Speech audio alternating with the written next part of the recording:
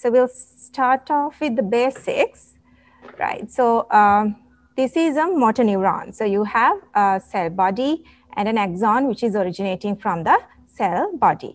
And it is in this distal end of the axon uh, which synapses with the skeletal muscle motor end plate. Right, so further to basics, where do you get these motor neurons? Now the motor neurons can be at the uh, motor cortex, whose axons descend down along the spinal cord, and they would end at the spinal cord or would end at the brainstem. So they would travel along the cortico-spinal tract or the cortico-bulbar tract. So that's the upper motor neuron. Then you also get the lower motor neurons whose cell bodies lie at the spinal cord uh, or at the brainstem and their axons innervate the skeletal muscle. So you have the upper motor neurons and the lower motor neurons. So with that in our minds, uh, we'll move on to the uh, objectives of today's talk. So I'll be talking to you about what motor neuron disease is about, uh, pathophysiology, then uh, classification, a practical classification system, then uh, the main clinical features, how you would arrive at a diagnosis, what's the prognosis in motor neuron disease, and finally about the management.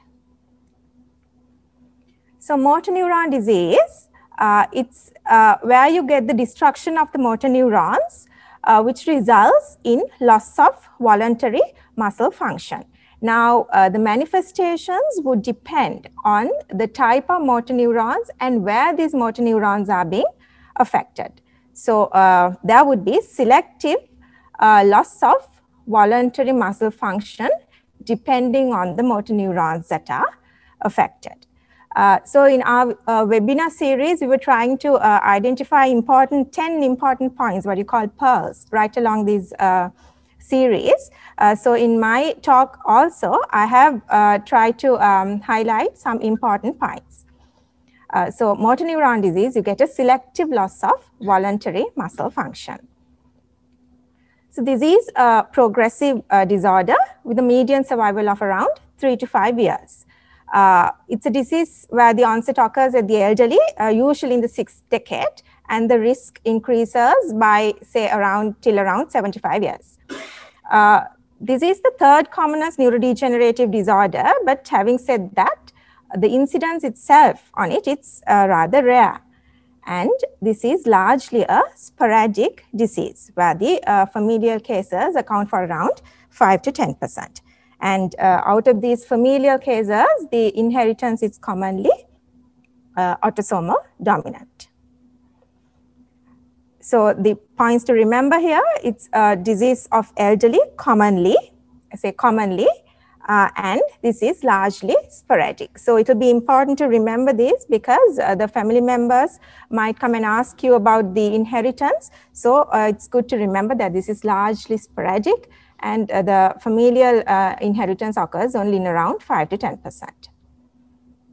Okay, so let's move on to the classification. Uh, you've seen this diagram before. Uh, the classification again is based on the type of motor neuron that is affected. Uh, so you have the upper motor neuron isolated involvement, what you call pure upper motor neuron involvement. Then there could be the uh, pure lower motor neuron involvement uh, or there could be the combined upper and lower motor neuron involvement. The uh, pure upper motor involvement is the rarest out of all. It uh, accounts for around 1%. Uh, uh, example is progressive lateral sclerosis. Then uh, pure lower motor involvement, you get around 10% out of all the MD, MNDs, where you get the progressive muscular atrophy, spinal muscular atrophies as um, subtypes of pure uh, lower motor neuron involvement. Then the commonest out of all MND is amyotrophic lateral sclerosis or ALS, where there is combined upper motor and lower motor involvement. And this accounts for around 85%. So a practical classification uh, uh, involving the subtypes of MND would be based on the type of motor neurons that are involved, upper motor, lower motor, or combination. Okay, so let's move on to the pathophysiology. Uh, so in here, there is a degeneration and destruction and death of motor neurons and subsequently uh, and uh, so this occurs in the upper motor neurons as well as in the lower motor neurons. Uh, subsequently, the uh, axonal loss and gliosis occurs. So that occurs along the uh, spinal cord tracts as well as in the peripheral motor nerve. Uh, finally, there would be denervation atrophy of the affected skeletal muscle. So there are uh, many mechanisms that have been postulated as giving rise to this uh, pathophysiology, like um, accumulation of oxidative stress, mitochondrial dysfunction, uh, glutamate excitotoxicity. So there are many postulated mechanisms. Uh, so the importance of these mechanisms is that uh, the uh, treatment modalities have attempted to address these mechanisms. Then what are the risk factors? Uh, oh, well, uh, now uh, this is commonly a disease of elderly. So advancing age, I said till around 75 uh, years of age, the risk increases. And uh, positive family history uh, in ones who have family, family members being affected would be risk factors.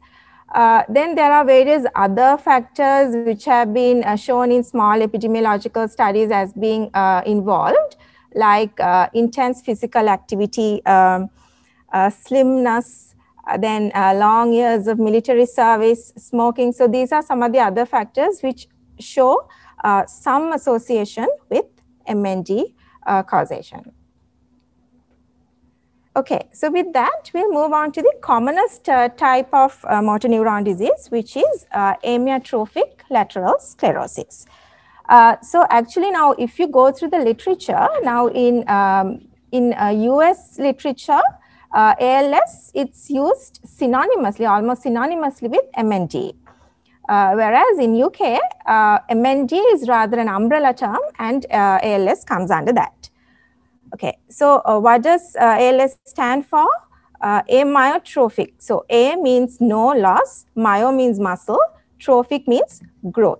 So there is atrophy of muscle. Then lateral stands for the lateral corticospinal. Sclerosis is thickening or fibrosis. So the name implies, uh, gives you an understanding as to what's going on in ALS. So this is the commonest of all and uh, 5 to 10% are familiar with a commoner uh, inheritance being autosomal dominant inheritance. Uh, so now you saw there in, in this, there is loss of function of upper motor as well as lower motor neurons. Now, depending on the uh, anatomical location of these motor neurons that are affected, uh, the manifestations would involve the limb muscles, bulb muscles, or the respiratory muscles. Uh, another important thing to remember in ALS is that this condition is relentlessly, invariably progressive. This may not apply, the term relentlessly may not apply for all the uh, subtypes of MNDs. Uh, for example, conditions like GSMA will not be, uh, it, it will progress for uh, some years, but it will, the progression will arrest on its own. Whereas when you talk about ALS, it, it starts from one region and it progresses uh, onto other regions and it progresses right till the death. Uh, the median survival of ALS is around three years from the onset of weakness. So I say it's a median survival. It could be less or uh, there uh, have been reported cases where patients have been functionally uh, intact even until 10 years from the initial diagnosis. Uh, so the early symptoms of ALS could be cramps and fatigue. So again, it's important to remember this because uh, whoever who comes up with cramps and fatigue, it's important to remember this and to uh, have follow-up because the clinical features that I'm going to explain you next will not be apparent at this, this stage. Okay, so you have a pearl here. ALS is a relentlessly progressive condition. Right. So what are the clinical features of ALS? So again, uh, let me repeat. ALS has both upper and lower motor neuron involvement and the manifestations would depend on the uh, anatomical location of these motor neurons that are affected. So the commoner uh, manifestations would be limb onset. Uh, next commoner would be bulbar onset and respiratory onset would be not so common. Then what are the features of limb onset? Uh, one would get wasting, weakness, fasciculation. So those are the lower motor uh, neuron involvement uh, manifestations. Then there would be brisk reflexes and extensor plantar response, which are the upper motor manifestations. Similarly, you can get the combination of upper motor and lower motor in the bulbar onset variety also, dysarthria, dysphagia, wasted tongue with fasciculations, spastic tongue with a spastic dysarthria, uh, and brisk jaw jerk. Respiratory onset will have respiratory manifestations, shortness of breath, or orthopnea, and importantly, it's, uh, it's uh, you need to explore about nocturnal sleep, uh, nocturnal uh, respiration related manifestations to identify uh, nocturnal um, desaturation. Right, so in ALS, what you get is a combination of upper and lower motor neuron signs in multiple regions. Uh, so not only these motor manifestations, you also get affect uh, related manifestations in ALS uh, with emotional lability. And also you get cognitive dysfunction. Uh, so cognitive dysfunction uh, may not be grossly apparent as in uh, Alzheimer's disease, but if you explore further, I mean, there would be subtle executive dysfunction in most of these patients. Okay, uh, so when uh, considering the clinical features in ALS, uh, so there are important negatives that you should also consider. Uh, you don't get extraocular muscle involvement in ALS. You don't get sphincter involvement. There are no sensory, there are no hard sensory signs uh, because this is a disorder of motor neurons. And you usually don't get, I use the term usually, you usually don't get extrapyramidal and cerebellar signs. So it's important to consider these uh, negatives when um, evaluating a patient suspected as having ALS. Okay, so let me show you some pictures. So now here you see um, an atrophic tongue here um, in this patient. So, um, okay, so uh, here the in the hands uh, you see again uh, there is atrophy. So if you look at the dorsum of the hands, you see the dorsal guttering. So this is because of um, wasting of the dorsal interossei. Uh, so it's quite uh, an interesting phenomenon here. You see the guttering, it's preferential. See the guttering, it's more marked at the first dorsal interossei. Then again, if you look at the uh, palmar aspect of the hand, uh, the wasting is more marked at the thenar eminence because of the involvement of the abductor pollicis brevis muscle. So these involve the pincer grasp, pincer grasp of the patient. So you call it these uh, predominant uh, uh, ulna uh, involvement, ulnar side involvement of these muscles. Uh, you call it the split hand, split hand sign in uh, MND. Right. So uh, this video, you will see the fasciculation. So you can see the fasciculations here. An important thing to note in these fasciculations, uh, in ALS uh, or in MND, you will see generalized fasciculation. So they might not be confined to the muscles uh, which show wasting or weakness. Okay, so here, uh, this is to show you the uh, fasciculations uh, in the tongue. Uh, so tongue fasciculations are best uh, observed uh, when the tongue is inside the flow of the mouth. So you don't get the patient to protrude out to look for fasciculations. Okay. Right. So what are the investigations that you would request in ALS? Uh, so the most important would be the electrodiagnostic studies. So in electrodiagnostic studies, um, uh, you need to uh, see normal sensory responses in the nerve conduction studies with reduced motor amplitude. So there can be abnormalities in the motor conduction. The characteristic findings would be obtained from the needle EMG. Uh, where you would see uh, the presence of active and chronic denervation with uh, giant motor unit action potentials. Then, if suspicious, it's important to rule out any compressive lesions in the cervical spinal cord, which gives rise to combination of upper and lower motor neuron pattern. So uh, there, the cervical spine MRI would uh, come in handy uh, because these are uh, potentially treatable alternative causes. So needle EMG is the most important investigation in whoever who is suspected as having ALS. Uh, need to look for evidence of active and chronic denervation. Okay, so uh, what are the differential diagnosis of ALS? Uh, now again to remind you that in ALS there's combination of upper and lower motor involvement. So uh, in uh, the, so the commonest uh, differential would be uh, radicular myelopathy. So if there is any compression occurring over the spinal cord as well as on the roots, so you get a combination of upper motor and lower motor patterns. So you can get this in degenerative bone disorders as well as in uh, spinal mets.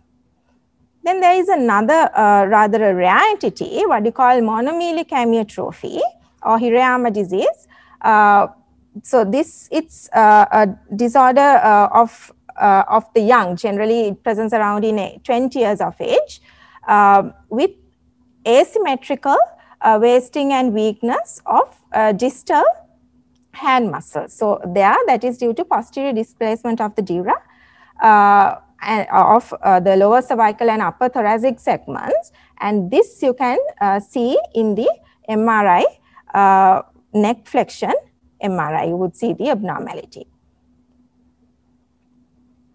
Okay, so how would you arrive at a diagnosis of ALS?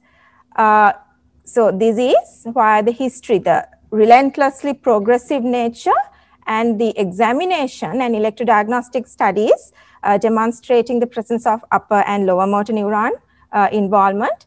And also it's important to uh, exclude uh, other uh, possible alternatives which are potentially treatable, which could give rise to the same clinical picture. Uh, so to make this diagnosis of ALS, to make it further precised, considering its grave prognosis, there are various diagnostic criteria which are being laid down.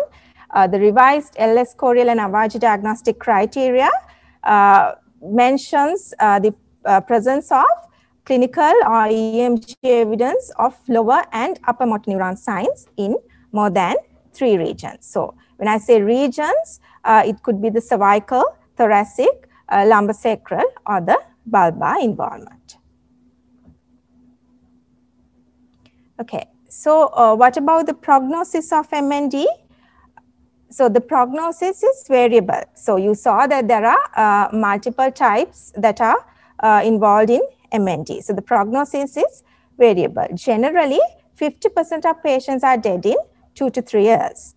Uh, in ALS, most of these patients die in around three years of diagnosis. So that is the importance of uh, having a precise diagnosis um, when such patients present here.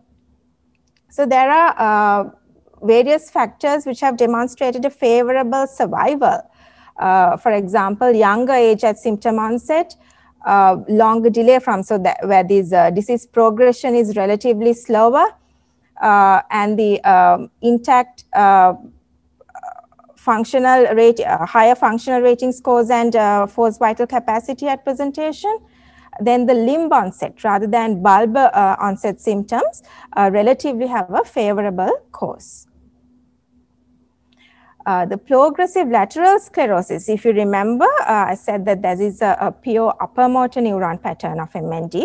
Uh, there the uh, progression is very slow and the um, patients would survive for decades. Okay, so let's move on to the management of MND. Uh, so the management uh, at present is based on symptom-based palliation. There are certain disease-modifying therapies. So two such therapies are approved in US, riluzole and uh, edaravone. Uh, but uh, largely the management is based on symptoms. Uh, so I thought of uh, reminding about the spikes protocol because uh, now having uh, established a diagnosis of ALS, uh, it would be a daunting task for the clinician to break the news.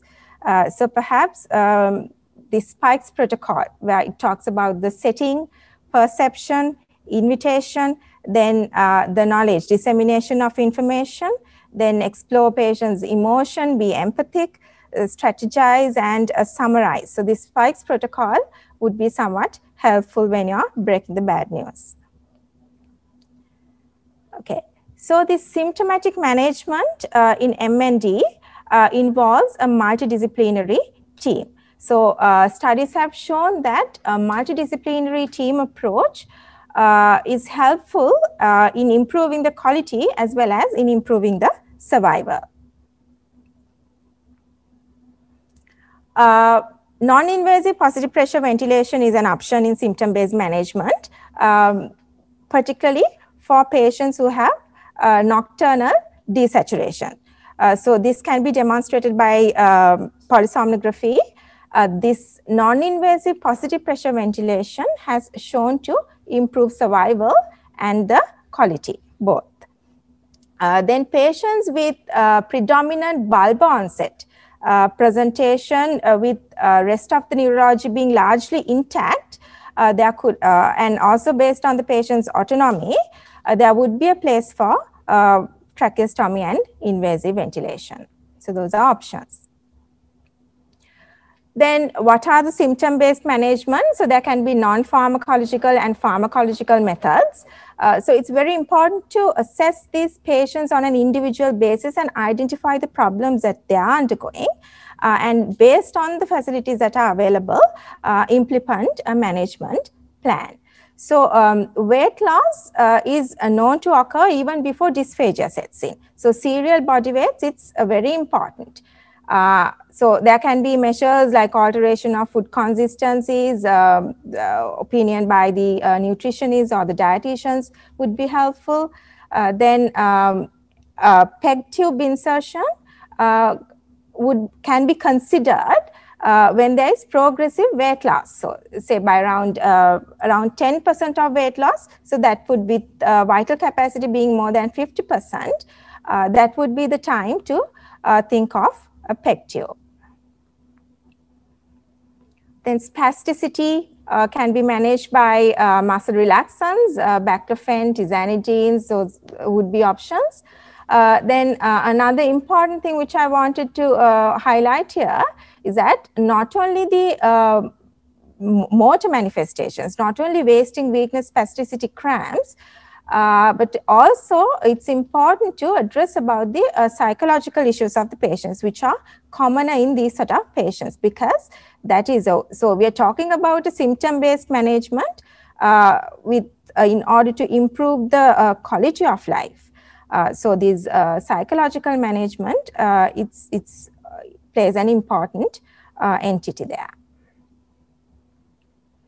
Okay, so ladies and gentlemen, we are moving on to the end of this uh, talk. So let me uh, summarize uh, the pearls we've been gathering uh, right along. So motor neuron disease, it's uh, you get a selective loss of voluntary muscle function, uh, which is a neurodegenerative disease, largely sporadic, which is around 5 to 10% being familial. There are multiple subtypes depending on the types of motor neurons that are affected, whether they are upper motor, lower motor, or combination. ALS is the uh, commonest subtype of motor neuron disease, accounting for around 85%, uh, which is a relentlessly progressive disorder. And here you get combination of upper motor and lower motor in multiple regions.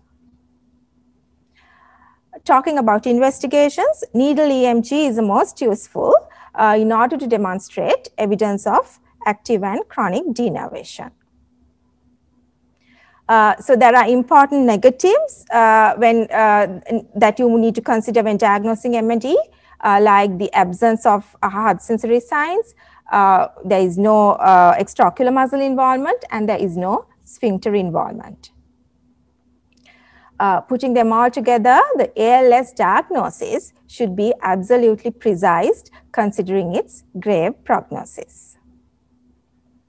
And finally, uh, motor neuron uh, management at present is largely symptom and palliative care based and uh, best that it carries on with a multidisciplinary team care.